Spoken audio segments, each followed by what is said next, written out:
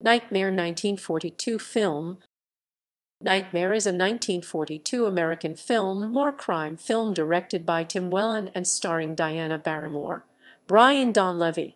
The film was based on a novel of the same name by Philip MacDonald.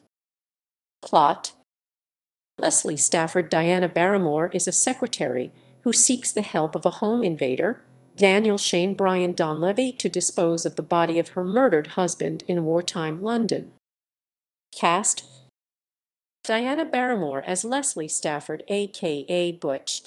Brian Donlevy as Daniel Shane. Henry Daniel as Captain Stafford. Eustace Wyatt as Angus Innkeeper. Arthur Shields as Sergeant. Gavin Muir as J.B. Abington. Stanley Logan as Inspector Robbins.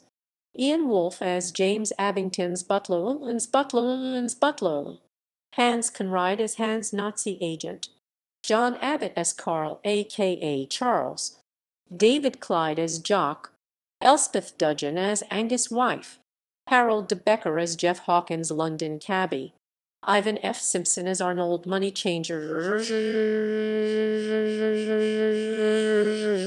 Changer, Changer, Keith Hitchcock as London Bobby, Arthur Gould Porter as Freddie, Anita Sharp Bolster as Mrs. McDonald housekeeper, Lydia Bilbrook as Mrs. Bates, Pax Walker as Gladys, Bobby Hale as Old Gaffer as Bobby Hale,